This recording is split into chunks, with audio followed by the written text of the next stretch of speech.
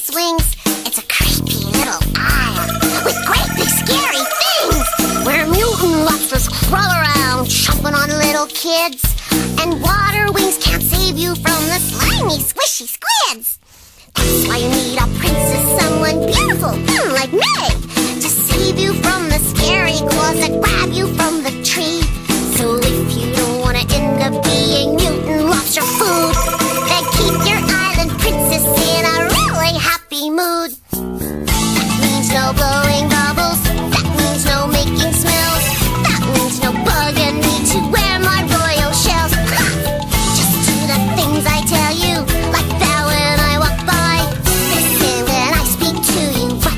Look me in the eye. You're not some island princess. There's not a squishy squid. There are no mutant lobsters that would ever eat a kid. Don't listen to her stories. She always misbehaves.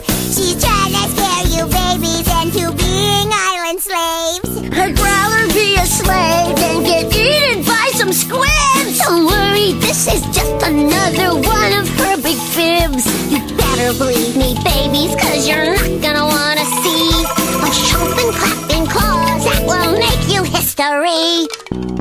Don't go and blow no bubbles, just stop making all your smells. I was kinda looking forward to wearing royal shells. Phil, just do the things she tells ya. Don't